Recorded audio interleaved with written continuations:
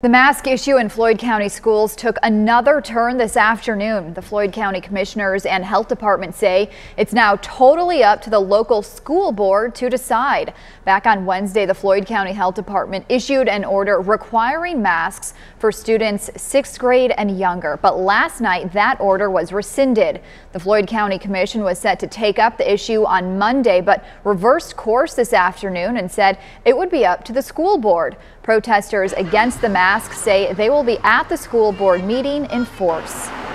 It's very important that we're out here so the school board does understand that these parents, the majority of the parents and these children, these children's voices, they are they are crying. That you see children out here today.